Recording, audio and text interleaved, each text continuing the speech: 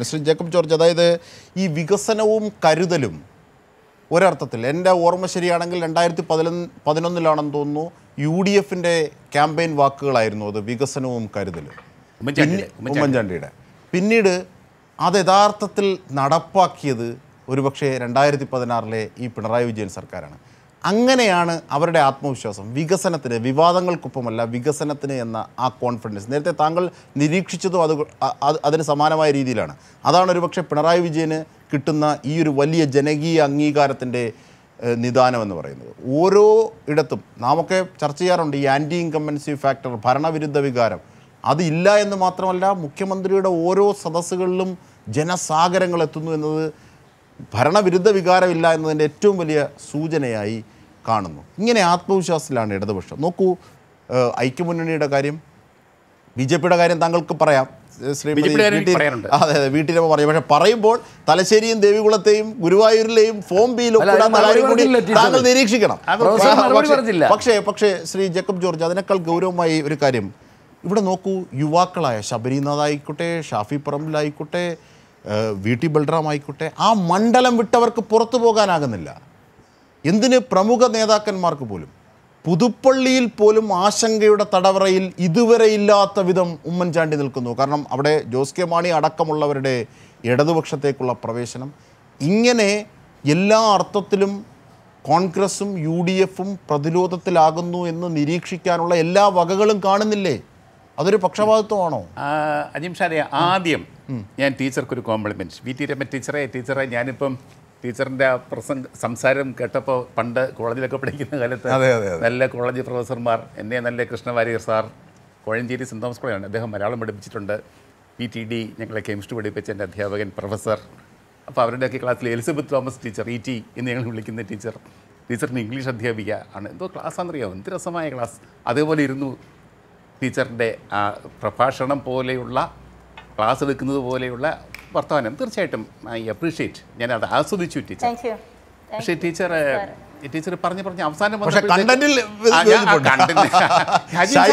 അജിംഷാദ് എന്താ എന്നെ കുറിച്ച് വിചാരിച്ചിരിക്കുന്നത് ടീച്ചറിനെ ഞാൻ അത് അത് യാതൊരു കലവറയില്ലാത്ത ഒരു ഒരു സന്തോഷം ഞാൻ രേഖപ്പെടുത്തുന്നു. പക്ഷേ ടീച്ചർ പറഞ്ഞു പറഞ്ഞു വന്ന് കണ്ടന്റ് വഴിതെറ്റിപ്പോയി ടീച്ചർ. പണ്ട് വാജ്പേയി പ്രധാനമന്ത്രി ആയപ്പോൾ അദ്ദേഹത്തെക്കുറിച്ച് പറഞ്ഞത് the right man in a wrong party ടീച്ചറിനെ കുറിച്ച് ഞാൻ പറയുന്നത് the right voice for a wrong party for a wrong cause teacher.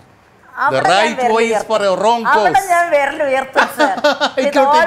ടീച്ചർക്ക് പറയാമല്ലോ. ടീച്ചറിന്റെ മുഖത്ത് നോക്കിയല്ലേ ഞാൻ പറയുന്നേ സർ, അതാണ് teacher I appreciate your voice it's right voice for a wrong teacher ഞാൻ പറയട്ടെ ടീച്ചർ? ഞാൻ എനിക്ക് പറയാനുള്ളത് ഞാൻ പറയാം ടീച്ചർ. ടീച്ചർ സമയമുണ്ടല്ലോ. അതെ. ബി ജെ പിയെ കുറിച്ച് ഞാൻ പറയാതിരുന്നത് തെറ്റിപ്പോയി എന്ന് എനിക്കറിയാം. ബി ജെ പി ഒരു എമേർജിങ് പാർട്ടിയാണ് രാജ്യം ഭരിക്കുന്ന പാർട്ടിയാണ്. അതിന്റെ രാഷ്ട്രീയത്തോട് എനിക്ക് വ്യക്തിപരമായിട്ട് രാഷ്ട്രീയമായിട്ട് എതിർപ്പുണ്ട് എങ്കിൽ പോലും ബി ജെ പി വരുന്നതിനെ ഞാൻ കാണുന്നുണ്ട്. പക്ഷേ ടീച്ചർ ബി ജെ പി എങ്ങനെയാണ് ഇവിടെ വരുന്നത്? താങ്കളുടെ പ്രസിഡന്റ് സുരേന്ദ്രൻ പറഞ്ഞു മുപ്പത്തഞ്ച് സീറ്റൊക്കെ ഞാൻ കിട്ടിയാൽ മതി. ഭരണം ഞങ്ങൾ പിടിക്കും. എങ്ങനെ പിടിക്കും? എങ്ങനെ പിടിക്കും ടീച്ചർ? എന്താണ് ഇതിന്റെ ധർമ്മം ടീച്ചർ? കാശ് കൊടുത്ത് എം എൽ എമ്മിനെ മേടിക്കുന്നില്ല പറഞ്ഞത്. സിംപ്ലി സ്പീക്കിംഗ് കാശ് കൊടുത്ത് മേടിക്കുന്നില്ല പറഞ്ഞു. ടീച്ചർ കേരളത്തിൽ ഇ എം എസ് ഗവൺമെന്റ് ആയിരത്തി തൊള്ളായിരത്തി അമ്പത്തി ഏഴിൽ അധികാരത്തിൽ വന്നപ്പോൾ രണ്ട് എത്ര? മൂന്ന് സീറ്റ് അറുപത്. അറുപത് അറുപത്തഞ്ച്. അറുപത്തഞ്ച് സീറ്റ് അഞ്ച് സ്വതന്ത്രന്മാരുൾപ്പെടെ. ആറ് രണ്ട് രണ്ടാളിന്റെ ഭൂരിപക്ഷം രണ്ടാളിന്റെ ഭൂരിപക്ഷം. അഞ്ച് സ്വതന്ത്രന്മാർ. അറുപത് പ്ലസ് അഞ്ച് അറുപത്തഞ്ച്. അറു ആകെ നൂറ്റി ഇരുപത് സീറ്റ് എന്റെ ടീച്ചർ ഒരാളെ കൈക്കൂലി കൊടുത്ത് മേടിക്കാൻ പറ്റിയോ? ടീച്ചർ ഒന്ന് ആലോചിച്ച് ടീച്ചർ. ഹൃദയം തുറന്ന് ഒന്ന് ചിന്തിക്ക് ടീച്ചർ. ഒരാളെ ഞാനൊന്ന് രണ്ട് ഒന്നും ഞാൻ ടീച്ചർ പറയട്ടെ ടീച്ചർ പറയട്ടെ. എഴുപത്തിരണ്ടിൽ അല്ല എഴുപത്തിരണ്ട് സീറ്റുമായിട്ട് എഴുപത്തിരണ്ട് സീറ്റുമായിട്ടാണ് ഉമ്മൻചാണ്ടി കേരളത്തിലെ മുഖ്യമന്ത്രിയായത്. ഇവിടുത്തെ ഇടതുപക്ഷം കാശ് കൊടുത്ത് മേടിക്കാൻ നോക്കിയോ? അതാണ് കേരളം. ടീച്ചർ ഓർക്കണം അതാണ് കേരള രാഷ്ട്രീയം ടീച്ചർ.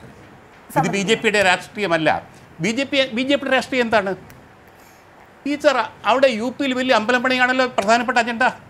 അതിനു മുമ്പ് ഇവിടെ ഗുജറാത്തിൽ വലിയ വലിയ വലിയ ഇത് പണിതല്ലോ പ്രതിമ പണിതല്ലോ സർദാർ വല്ലഭായ് പട്ടേലിന്റെ. ജവഹർലാൽ നെഹ്റു കുറെ കേൾക്കണം ഞാനാ പറയുന്നത്. ജവഹർലാൽ നെഹ്റു പ്രധാനമന്ത്രിയായപ്പോൾ ഇവിടെ ഉണ്ടാക്കിയത് എന്തെന്നറിയാമോ? അമ്പലവും പള്ളിയും അല്ല. പ്രതിമ വെച്ചില്ല അദ്ദേഹം. I I T I I M N I D National Institute of Design D R D O. എത്ര സ്ഥാപനങ്ങൾ എത്ര എത്ര സ്ഥാപനങ്ങൾ. അതാണ് ഇന്നും ഇന്ത്യയുടെ മുഖമുദ്ര ഇന്ത്യയുടെ മുഖം.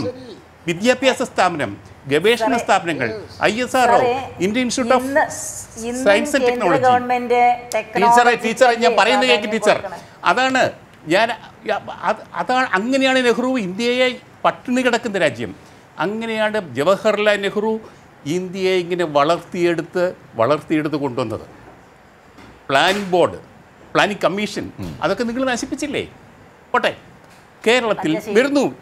വരുന്നു. ഞാൻ പറയാം. ടീച്ചർ ഇവിടെ കേരളത്തിലെ രാഷ്ട്രീയത്തിന് ഒരു ചരിത്രമുണ്ട്. ഇവിടെ കോൺഗ്രസ് എങ്ങനെ ഉണ്ടായെന്ന് അറിയാമല്ലോ? സ്റ്റേറ്റ് കോൺഗ്രസ് ടീച്ചർ രാഷ്ട്രീയത്തിലിറങ്ങിയപ്പോൾ ഇതൊക്കെ പഠിച്ചിട്ടുണ്ടാവുമല്ലോ. സി കെ ശിവനെ പോലെയുള്ള നേതാവ് നേതാക്കന്മാർ.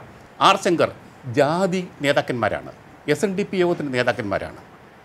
പട്ടം താണുപിള്ള ഒരു നായർ ആയിട്ട് ഐഡന്റിഫൈ ചെയ്ത് സവർണ നായരായിട്ട് തന്നെ ജീവിച്ചിരുന്ന ആളാണ്. അവരൊക്കെ കൂടിയാണ് രാഷ്ട്രീയത്തിലേക്ക് ഇങ്ങനെ കൊണ്ടുവന്നത്. E M S Namboodiripad.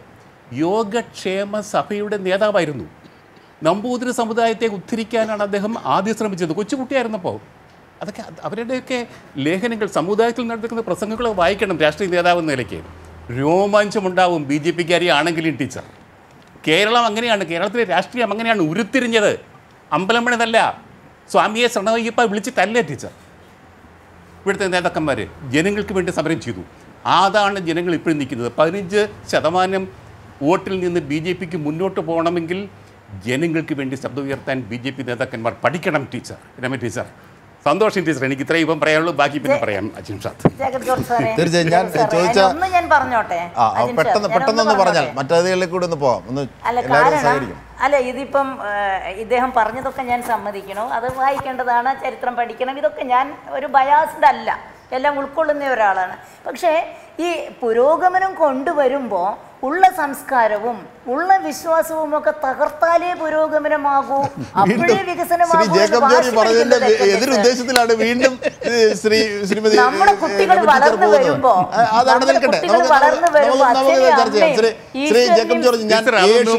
ഞാൻ എ ഷുക്കൂറിലേക്കും ശ്രീ ആനന്ദവട്ടം അതെ, ആനന്ദനിലേക്കും പോകുന്നതിന് മുമ്പ് ഒരു കാര്യം കൂടി താങ്കൾ ഒന്ന് ചുരുങ്ങിയ വാക്കുകളിൽ അതായത് ഈ മണ്ഡലത്തിൽ തളച്ചിടപ്പെടുന്ന യുവ നേതാക്കന്മാർ പ്രമുഖ നേതാക്കന്മാർ യു ഡി എഫിന്റെ അല്ല യു ഡി എഫിന്റെ പുതുപ്പള്ളിയിൽ അടക്കം.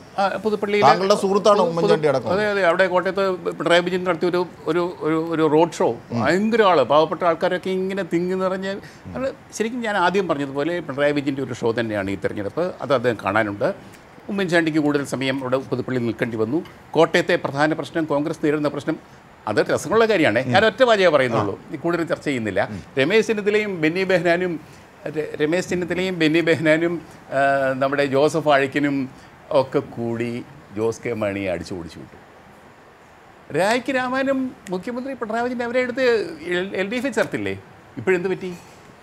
കേരളത്തിലെ യു ഡി എഫ് ഒരു നാലഞ്ച് സീറ്റിനാണ് തോക്കുന്നതെങ്കിൽ കോട്ടയം കൊണ്ടായിരിക്കും ജോസ് കെ മണി കൊണ്ടായിരിക്കും തോക്കുന്നത്. അല്ല ഞാനൊന്നും പറയുന്നില്ല. അത് അതേക്കുറിച്ചൊന്നും പറയാറായിട്ടില്ല. നാളെയാണ് വോട്ടെടുപ്പ്. കഴിയട്ടെ മെയ് രണ്ടാം തീയതി ബാക്കി പറയാം. അപ്പോഴത്തേക്ക് ബാക്കി പറയാം.